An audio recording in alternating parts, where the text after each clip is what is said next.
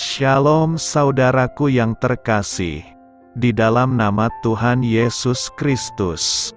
Selamat siang, salam sejahtera untuk kita semua, di mana pun saudara-saudara berada, selamat datang kembali di Renungan Kristen siang hari ini. Semoga saudara semua dalam keadaan sehat selalu dan kiranya damai dan sukacita Roh Kudus melimpah dalam hati dan kehidupan saudara semua. Sebelum kita mendengarkan renungan firman Tuhan, mari sama-sama kita berdoa. Bapa kami di dalam kerajaan sorga, Bapa yang kekal, mulia, dan penuh kasih sayang. Bapa yang kami muliakan di dalam nama Tuhan Yesus Kristus. Kami mengucap syukur Tuhan, oleh karena perlindungan-Mu di sepanjang malam hingga pagi hari ini. Kami boleh bangun dengan tubuh yang sehat, kuat, dan diberkati Tuhan, serta dapat memulai aktivitas kami dengan baik, pada siang hari ini, kami mau mendengarkan firman-Mu.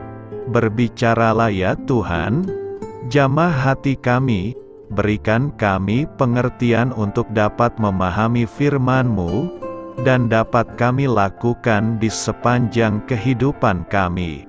Terima kasih Tuhan, di dalam nama Tuhan Yesus, kami berdoa. Amin. Saudara yang terkasih, Ayat emas renungan kita hari ini terambil dari Markus 10 ayat yang ke-21. Markus 10 ayat 21. Tetapi Yesus memandang dia dan menaruh kasih kepadanya. Lalu berkata kepadanya, Hanya satu lagi kekuranganmu, pergilah, Juallah apa yang kau miliki dan berikanlah itu kepada orang-orang miskin, maka engkau akan beroleh harta di sorga. Kemudian datanglah kemari dan ikutlah aku. Judul renungan kita hari ini adalah Untuk Bisa Mengasihi, ditulis oleh Liana M. Tapalahwene. Sahabat suara kasih, Berbicara mengenai kabar baik, berarti kita berbicara tentang berita sukacita. Permulaan penulisan kitab Markus menyatakan Injil tentang Tuhan Yesus Kristus. Sebagaimana yang tertera pada Markus 1 ayat 1 sampai 3. Inilah permulaan Injil tentang Yesus Kristus, Anak Allah, seperti ada tertulis dalam kitab Nabi Yesaya, Lihatlah, aku menyuruh utusanku mendahului engkau, ia akan mempersiapkan jalan bagimu. Ada suara orang yang berseru-seru di padang gurun, persiapkanlah jalan untuk Tuhan, luruskanlah jalan baginya. Injil Markus menyimpan rahasia besar, mengenai jati diri Tuhan Yesus yang sesungguhnya, tentang bagaimana nubuatan-nubuatan digenapi, Tuhan Yesus disebut anak Allah, serta bagaimana Tuhan Yesus mati dan akan datang kembali. Jika kita menelaah secara mendalam, mengenai arti kasih yang berkorban, maka secara gamblang kita dapat melihat Bagaimana karya pengorbanan Kristus itu dinyatakan dengan sangat terbuka di kitab Markus ini. Di mana karya Tuhan Yesus dimulai dengan memberitakan Injil Kerajaan Allah di Galilea, hingga pengajaran dan mujizat yang dilakukan Tuhan Yesus di Yudea, sebelum Tuhan Yesus menjalani masa penderitaan, hingga kematiannya di Yerusalem. Markus 10 ayat 21 dikatakan, Tetapi Yesus memandang dia dan menaruh kasih kepadanya, lalu berkata kepadanya, Hanya satu lagi kekuranganmu, pergilah, Juallah apa yang kau miliki dan berikanlah itu kepada orang-orang miskin, maka engkau akan beroleh harta di sorga. Kemudian datanglah kemari dan ikutlah aku. Dari ayat inilah kita bisa mengetahui bahwa Tuhan Yesus sendiri menginginkan kita untuk mengorbankan apa yang kita miliki untuk mengikut Dia. Pengorbanan itulah bentuk kasih kita kepadanya. Dia sudah terlebih dulu mengasihi kita dengan rela berkorban di kayu salib demi menebus dosa kita maka kita juga harus meninggalkan hal-hal duniawi ini, demi mengikutnya.